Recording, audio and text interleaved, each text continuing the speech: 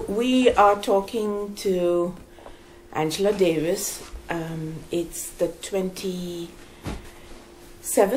of February 2016. Mm-hmm. And um, we are really pleased, Linda and I, to have you here for this conversation. Um, so, should we begin? Yeah. Yeah. Well, I know we've been talking about this for a For very while. long time, and I Okay. can't believe it's finally happening. Happening, I know. Well, we're in all three in the same place Yeah. Yeah. after a while.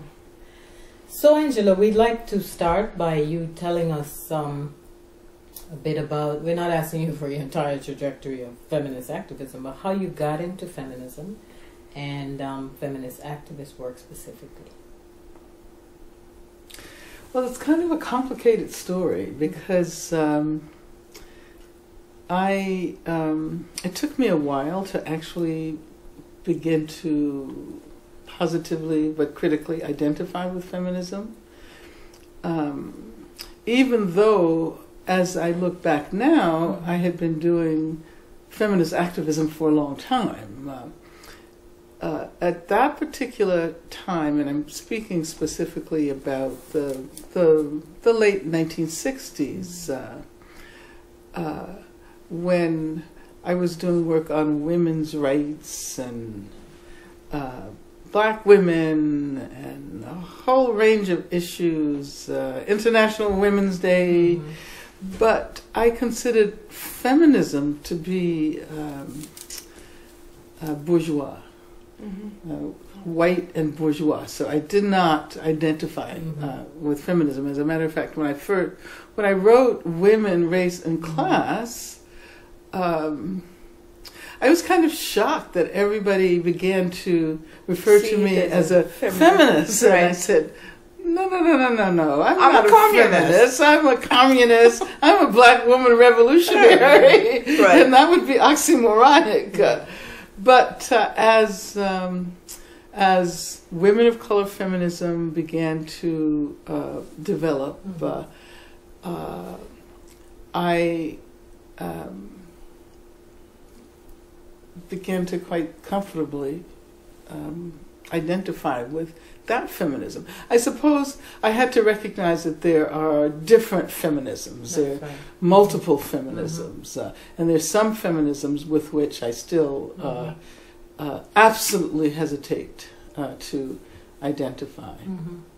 So, so um, who would who would you kind of um, identify as the feminist voices, the women of color, feminist voices that felt, uh, you know, the most like a space that you could interact with at that time? So you're talking sort of late seventies, early eighties now, Yes, yes, right? yes. Because that's sort of yes. uh, Relatable. yeah. Well, I um, was um, fortunate to, to be able to um, hang out with um, people like Bell Hooks and uh, Cherríe Moraga, Gloria Anzaldúa. Mhm. And as a matter of fact, for me, 1981 is the is, Is the that- pivotal year. Uh, of course, uh, This Bridge Called My Back was published. Uh, uh, Bell Hooks' book was published uh, in that year. I think my own book was published Right. around the same time. Also, Michelle Wallace's. yeah, uh, Michelle Wallace's, and then Glo- uh, Gloria Joseph and Gloria Joseph, and yeah, exactly. all in 1981. So all, and, and then there were these amazing conferences that took uh, place, uh, common differences, Right. uh, parallels, and intersections. So it wasn't as if I had to uh, make an effort. Yeah. yeah, Uh, uh, the scene was um, Mm-hmm. already set. The framework uh, came together, right. and uh, and it. I, I was uh, hailed by it, so to speak. Mhm. Right, right. But yeah, uh, uh, I was teaching at San Francisco State at that time, Mm. and so was uh, Cherríe Moraga and and um, Gloria Wa- Bell Hooks, Mhm. uh, and um, around that time, uh, n- new formations uh, uh, were were happening. There were amazing confrontations at various conferences. The Right. NWA SA, Yeah. I think I attended. I did not attend the one in ni- 1981, which was really pivotal. Which the was Storrs, the uh, yeah the Storrs. conference. But um, Mhm. I did attend the conference the following year, Mhm. uh, which uh, was, That was the one in Iowa, right? Wasn't no, that no, part I, of no, I went to the one in Humboldt, Humboldt, um, Huh. in Arcata, in Humboldt Okay. State. Uh, Hmm. I don't know that. yeah, and the theme the thing was uh, around racism, Mm-hmm.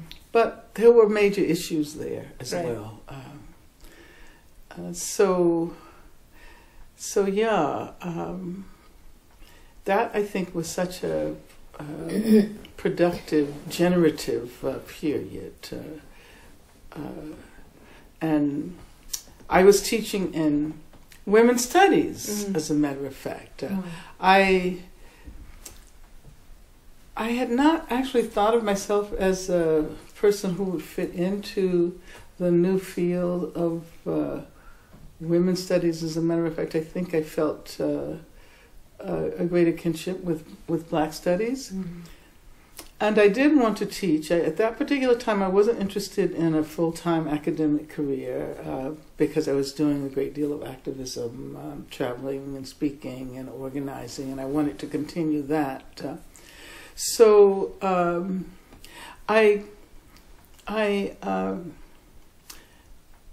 got this offer from San Francisco State and uh, to teach in the the, the new, relatively new women's studies department. Um, and at the same time, um, as I mentioned, uh, uh, Bell Hooks was teaching there. Uh, I don't think they realized, uh, you know, what was No, going it's kind of incredible to have to think Yeah. that Cherríe, you, Yeah. and Gloria were Bell Hooks was in the same Yes. space yeah, at that yeah. time. I never knew Mhm. that actually. Yeah. That yeah, you yeah. all, because one question that was I a radical space then. You Then, know, exactly, space. absolutely. That radical But it was more a- than any, But it was a contested space Yeah. as well. Yeah. Uh, because I can remember Right. the difficulties I had teaching courses in the women's studies right? department. Yeah, Uh, and I would be told that this is not appropriate for women's studies. This is more appropriate for black Black studies. studies, Uh, And. I remember very specifically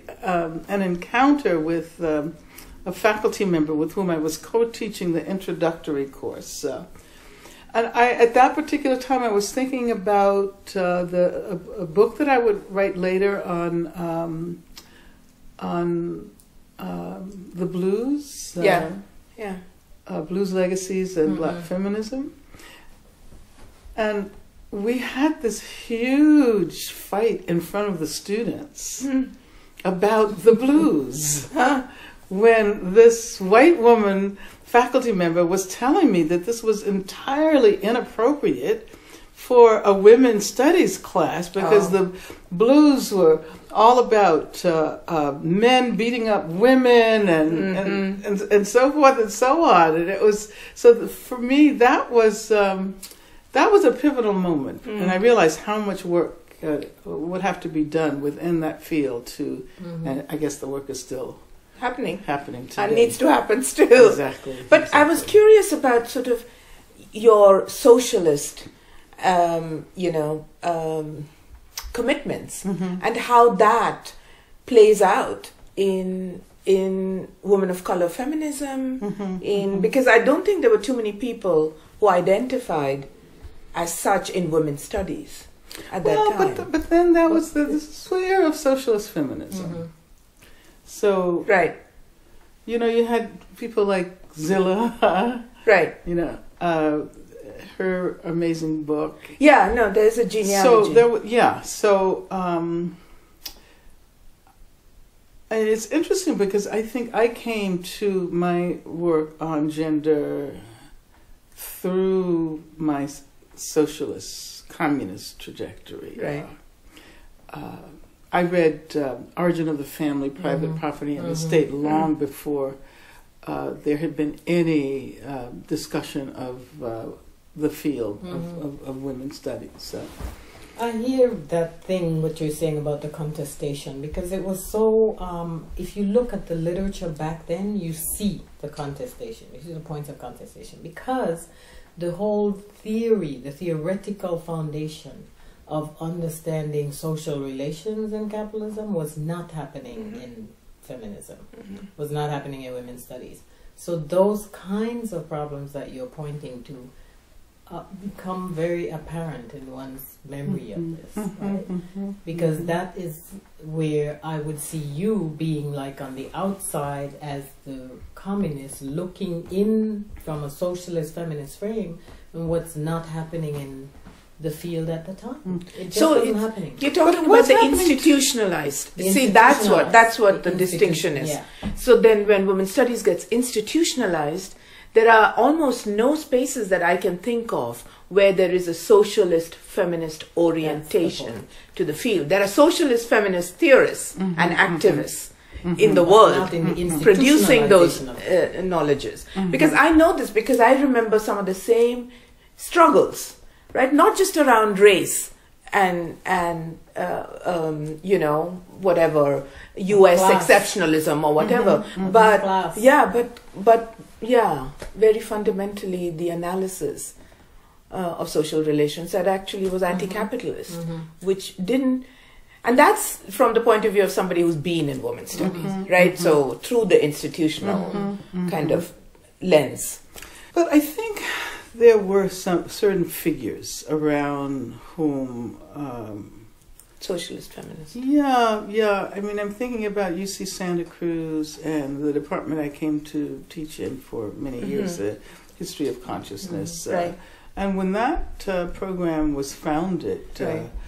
uh, uh, it, it it was around socialist feminism. Mhm. Uh, so, um, you know, I think that at, at a certain point there was a far too simplistic assumption of what it meant to do work around gender Yeah. or around women's issues. Uh, and actually, some of this came from um, some of this came from the communist framework as Yeah. well. Uh, Right. the woman question, right? Right. Uh, Right. uh, which is how I came to it. Yeah. Uh, and, and, and, and I had to figure out, you know, how to uh, um, sort of extricate myself from that framework Mhm. without leaving behind uh, what was productive and, and, and what was what was important. Uh, but I think as uh, women's studies came to be institutionalized, it's uh, it, it gave rise to uh, uh, a whole uh, strain of um, literature that uh, moved away from engagement with issues of class Mhm. and uh, imperialism. And uh, I mean, I actually like to think about uh, what was happening on the ground in the communities outside of the academy.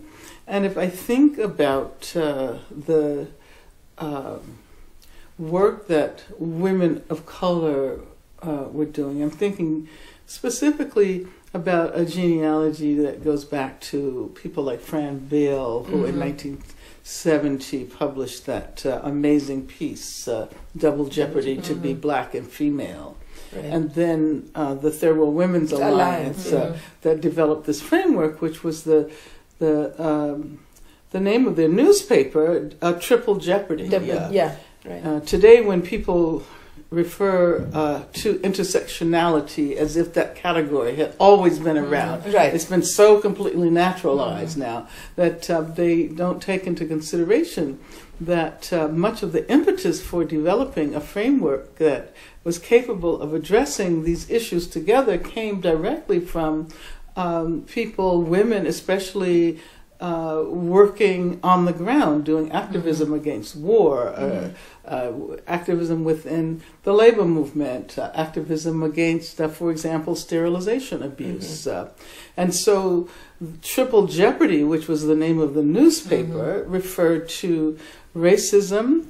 Um, uh, capital. Well, how how, how was it? Mm, Um, it was uh, racism, sexism, and imperialism. Imperialism. Those were the three categories. And of course, imperialism Yeah. embraced capitalism. Right. So, I mean, it's interesting because I, um, I, I felt drawn to that analysis all along, but Mm. did not necessarily see it as feminist. Feminist. It was the Yeah. alternative framework Yeah. to what was then considered to be uh, feminism, Um, and it was that uh, framework that didn't make it into the academy, uh, uh, right. and would take uh, another ten years uh, Right. before it became available, and then perhaps not until the um, well, it hasn't really made it into some departments. Yeah, but it hasn't, in yeah. 2016. Yeah. But, uh, yeah.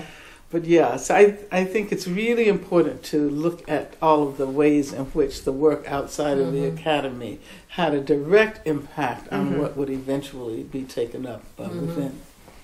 Within on some levels. On So- some levels, yeah. Right. So, in reflecting on your work, say over the last four decades, um, that feminist work and that feminist activist work, how would you say, how would you imagine that that work has impacted um, the lives of women? How, how do you Mhm. see it moving through real the lives of women in real ways and creating change? And this is, of course, in the imaginary, right? Because some of it you will know for sure, and some you would hope that it does. Mhm. How would you think? Well, I think that whenever one engages uh, in work that is um, designed to uh, contribute to social transformation, Mhm. one one only hopes uh, to have an impact. Uh, and for me, I've never imagined that impact as uh, as being confined to work that I do as an individual. Mhm. I, I always see it uh, as uh, a collective process, and, Mhm. and even things that I've done, like the book that I wrote in 1981, "Women, Race, and Class." Uh, uh, a lot of those ideas came from uh, my activism Mhm. and came from my community. Uh, so when people tell me uh, that uh, they were profoundly transformed by that, I Mhm. can't take the credit for it Mhm. uh, myself. Uh, Mhm. so I, I suppose I would say that uh, I'm. I always hope to be connected to communities Mhm. that uh, that have some impact on on on, on uh, the world, that make a difference in the world, that uh, make it perhaps somewhat easier to move forward. Uh, uh, and of course, change is never uh, given. It it's it's always um, you know what can be a very um, positive uh, transformation at one point can turn into its opposite so easily. Uh, As so I see. so I don't I don't I don't think it's a good thing to rest on one's laurels uh, Mhm. because uh, we can see that uh, some um, victories within the academy, uh, d- departments, uh, fields, uh, which seemed so revolutionary at And the then they get time. completely. Exactly. Yeah. Yeah. So I think it's always important. It's it's important to look back and understand the, the histories and the genealogies, but at the same time, it's important to look forward and Mhm. and not say, "Oh, this is what I've done," and Yeah. I feel proud of what I've done. Yeah. Uh, Well, that's the reason I asked the question the way I did because um, it's not about the self. And knowing you, it would never be like, well, this is what Angela did and contributed to. But um, the way that your work is often taken up, and we can understand why and how it's taken up as individual. You, of course, don't look at it that way. But so I'm saying in that imaginary, how do you see that in part of the collective way you think about it as making those fundamental differences that haven't happened out of other spaces? So, for instance, if you were to specify, Mhm. like, what were the um, issues, concerns, contradictions that you feel really engaged you, mhm. within Mhm. which you Mhm. have worked over this Mhm. long period of time? Yeah. what would be those spaces? Mhm. And the question came out of the prior question and response, right? Sure, the contestation. thing. Right. Sure. Well, I think I've always uh, been interested in complicating, Mhm. um, you know, whatever is given, uh, Mhm. and you know, not in a, not in a way that is not um, comprehensible to people who may not have had the same kind of uh, preparation. But but I, I can even I can you remember when I was young and wanting to and when I felt drawn to communism. Mhm. Um, uh, I joined a communist youth organization when I was in my teens, um, and that was a decision I made, even though my parents had many friends who were communists. Uh, but I can remember even then wanting to figure out how racism and and class exploitation. I, I mean, I instinctively felt that they were it, it, Missing things. that that they had to be thought together. That we Mhm. had to figure out uh, uh, how to bring them together, Mhm. so that it wasn't only a class analysis Right, uh, right. uh, that uh, overshadowed everything else. Mhm. Uh, uh, so I think it was about breaking down hierarchies, Mhm. even hierarchies of uh, the understanding of the way uh, oppression works in the world, um, and and so uh, later when when I was a member of the Communist Party and I Mhm. was active in the uh, the Black Panther Party. I was actually a member of the Black Panther Party. And those of us who were in other parties were told that we had to choose whether we Mm, wanted to right. remain in the Black Right. Panther Party or. And that wasn't a difficult decision for me, as uh, passionate as I felt about the work in black communities and the work I was doing with the Black Panther Party.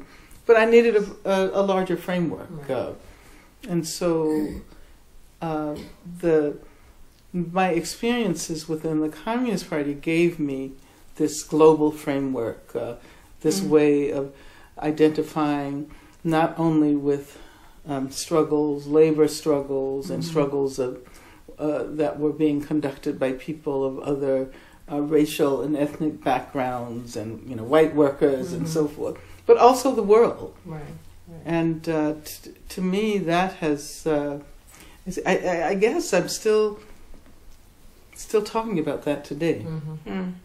Um, because even as we are witnessing a new um, flourishing of activism today, uh, there could be a more uh, pronounced internationalism. Yeah. Uh, and that's what in the United States of America, we're always encouraged to look inward and Mhm. not outward. Mhm. Mhm. Excuse me. Problem of insularity. Yeah. Yeah. So I think actually, and you've addressed some of the challenges, but if you were to think um, concretely about, you know, maybe even just think about what we face now, what are some of the most urgent um, challenges, according to you, that we face in doing a, a sort of radical uh, yesterday you used the word serious as you said a lot in your talk right. so a serious radical feminist anti-racist Mhm. anti-imperialist kind of praxis right? Mhm, mhm. what kinds of challenges are we facing? Well, you know, I think that um, you know, in some ways we we've really missed the boat on a whole number Mhm. of issues. Mhm. Uh, and I say this not to be overly critical, right but because it's important to take promises that were unfulfilled in Yeah. the past, Mhm. yeah use them to help us to build agendas uh, for the present. And so I can remember uh, back in um, wow, m- must have been in the 70s when we were talking about, uh, when we first began to talk about violence against women. And I, I you know, I, I wrote a piece for, I think it was Kitchen Table Press, Mm. on violence against women. And I can't remember what year it was. Mm. Um, it was called Violence Against Women and the Ongoing Challenge to um, Racism. hmm That was in the 80s. Huh? Sometime in the 80s, Was but it I'm the trying to think. Yeah, it was What was- But no, I can remember. Okay, it all kind of. Yeah. But I, you know, I'm I'm, I'm trying to. Uh, unfortunately, before this conversation, I didn't sit down and try to map things out clearly in my Mhm. mind. Uh, But I do remember in the 70s taking this issue, taking up this issue in relation to the Joanne Little case. Uh, Oh, yeah. Mhm. so that I Mhm. know was um 75 or Mhm. 76. Uh, Maybe that piece was like 79, 80. Right? which one? The Joanne Little piece? Yeah. No, the Joanne No, Little. the one after. That may have been later, but it came out of the experiences Okay, yeah. uh, that uh, we had uh, working around the Joanne Little Mhm. case. And Joanne Little, of course, was a young black woman who was Mhm. raped by a guard in a Mhm. prison in North Carolina. Uh, Mhm. Yes, Um, it is.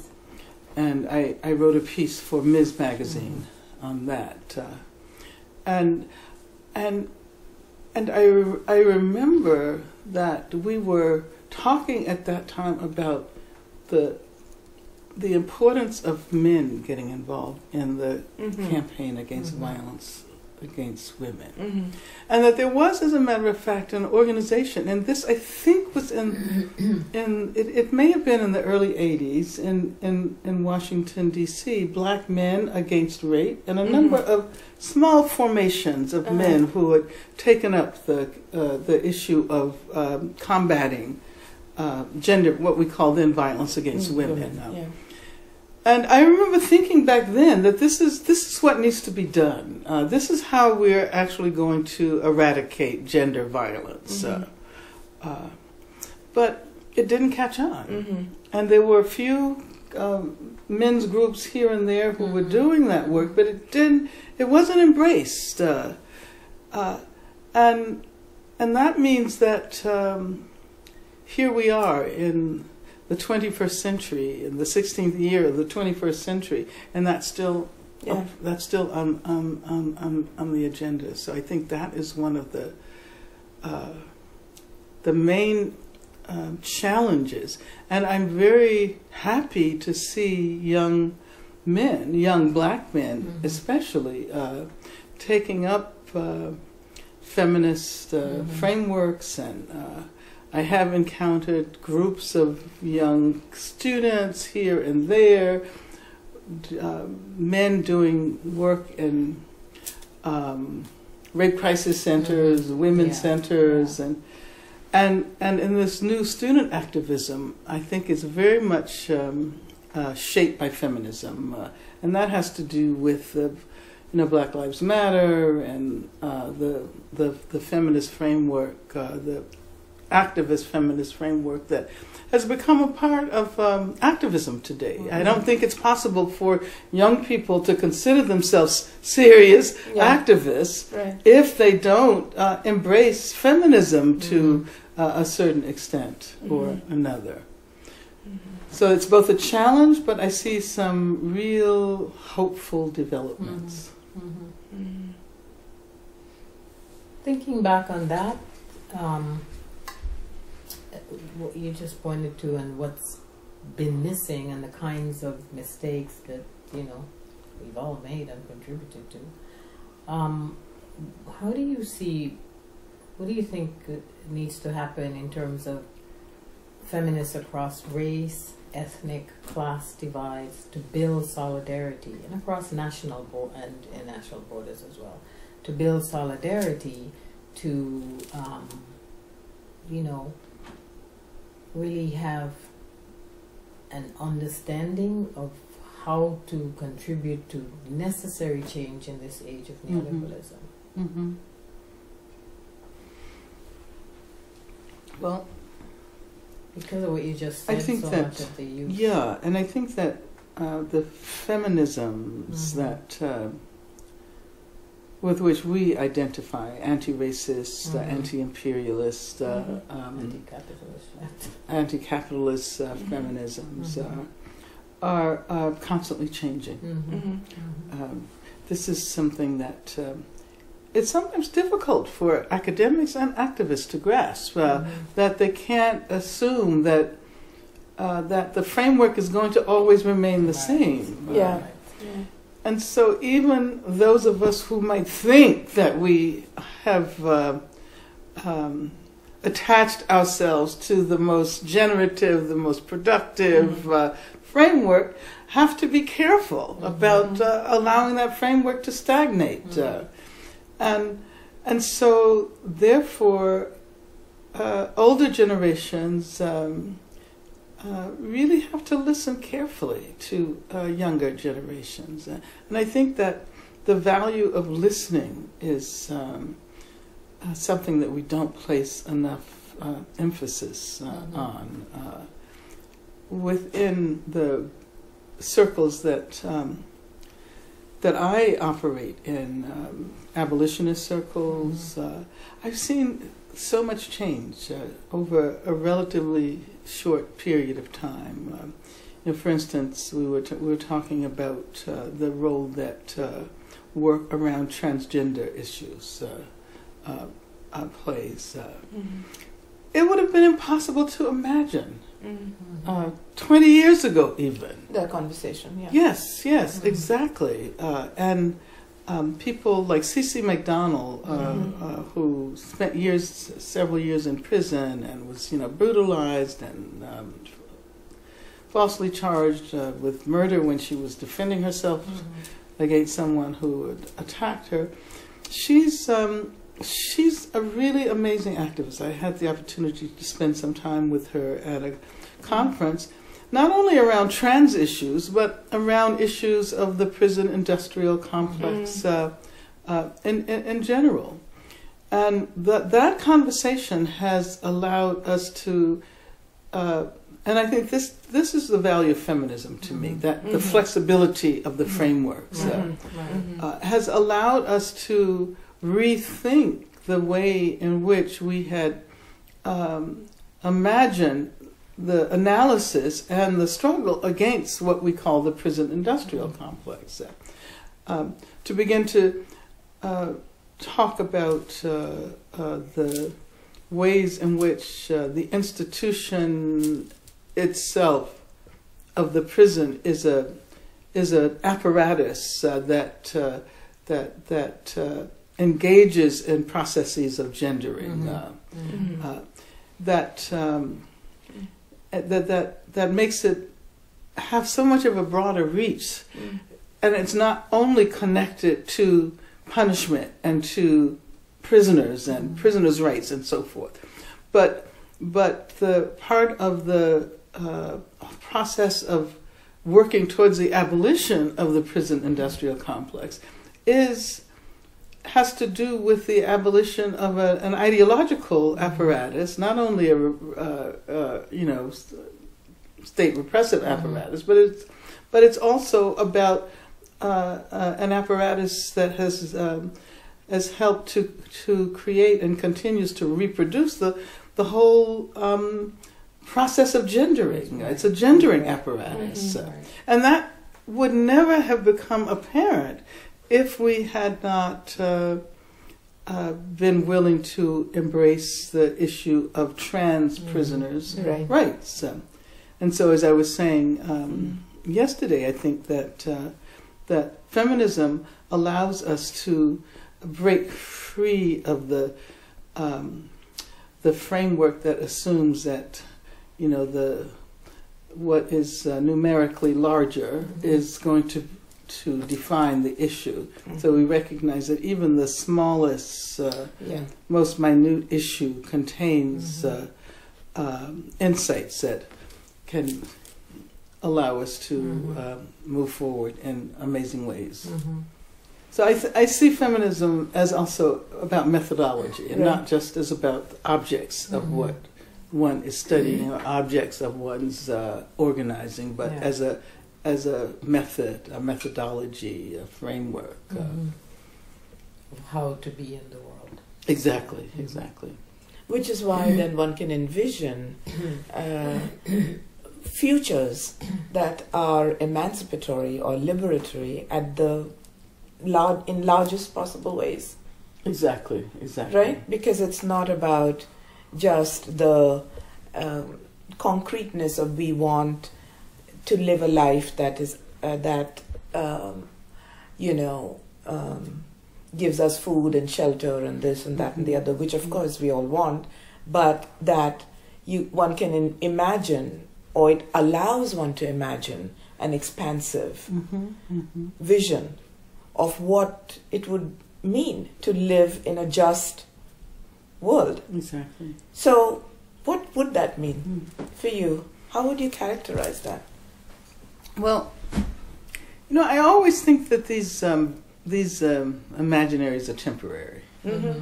uh, uh, because uh, once we have moved to the place we once imagined, we Right. recognize that it is so much more complicated. Than that, yeah.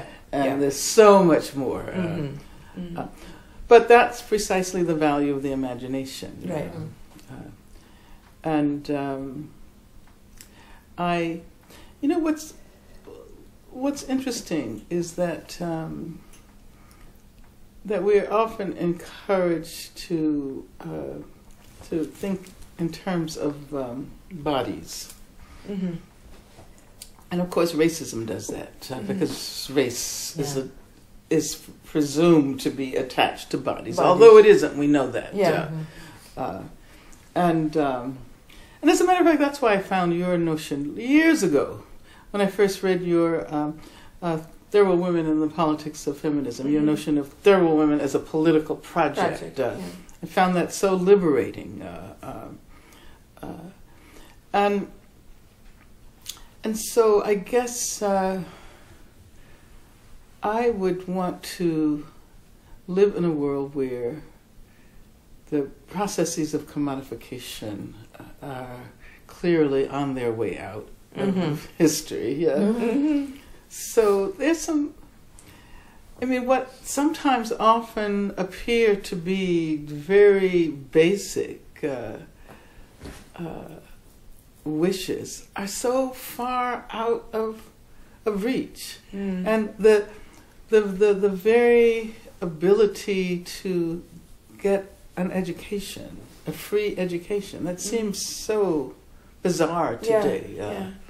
uh, and uh, so that's I, I would want I would want um, education to be free from um, kindergarten or childcare all the way up to uh, postgraduate and beyond. Uh, and I would want I, I see, that would mean that the that the very process of education would have to be transformed too. It's not just Mhm. getting being able to have free access to what exists now, No, right. but that would mean that uh, that uh, curriculum would change, structures would change, administration would change, relations would change, uh, and having spent the majority of my life on uh, college and university campuses, what uh, what really um, continues uh, to bother me is the fact that the workers on these in these spaces are so invisible. Mhm. Even today, even Mhm. students who consider Mhm. themselves to be most radical or Yeah. faculty, they don't take into consideration Mhm. that we have not created a community uh, on these campuses that involves the people who actually enable Mhm. the work to be done. Mhm.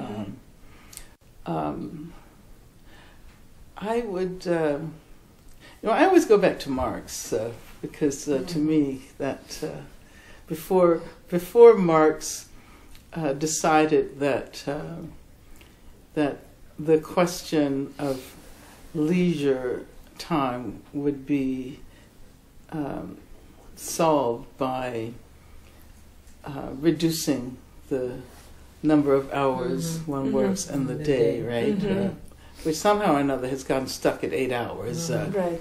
Uh, uh, by now, we should definitely be at four or Mhm. Yeah. three, right? Because of Yes. the value that One comes looks- out of Yes, Yes. exactly. And if one looks at at the struggles for a shorter workday Yeah. over the years and centuries, we Mhm. should definitely be at about three hours a day now. Um, but but uh, I would I um, um, imagine people having the opportunity to really follow their passion Mhm. and. to- Everyone should be able to make art Mhm. whether it's it doesn't have to be good art Yeah. uh, but everyone should be able to express themselves because i took that really seriously from um, uh, marxist analysis Mhm. of about the fact that uh, we externalize ourselves in the objects that we make and that workers are totally alienated from the products of their labor because of the whole capitalist uh, system Right. so I would want a, a world in which that was possible. Uh, um, yeah, and I mean, I could go on and talk about Right. you know the basic things, and also philosophically, uh, what would it, what might it mean to transform human relations uh, Mhm. and to transform our sense of ourselves. Especially in an era when commodification is so intense. Everything that can be commodified is commodified. Which I is mean- everything. Everything. Which is literally Exactly. everything. Yeah. Yeah. Even thoughts, Mhm. right? Mhm. Right. Yeah. Right. Commodified and appropriated, and, and the state is a master at this now. It's, it takes so much of it, and even relations, you know. Some elements of human relations are commodified and becomes the state's language. Mhm. The state, you know, makes it part of its language. Exactly. of um, relating to people, telling them how they relate to each other. I mean, if you look at the current election campaign, you see it. That these some of these ideas are not these people's. Mhm. They Well- come out of elements of struggle that they have appropriated and commodified. Absolutely. Mm. Absolutely. Mm. So, what do you see as the kind of future of feminist praxis? What would? Well, Or praxis. Oh, yeah. yeah, and I think that um, that this might be a time to try to broaden the reach of, of Mhm. feminism. Yeah. Uh, uh, and to, you know, I've never been someone who has uh, relied on labels.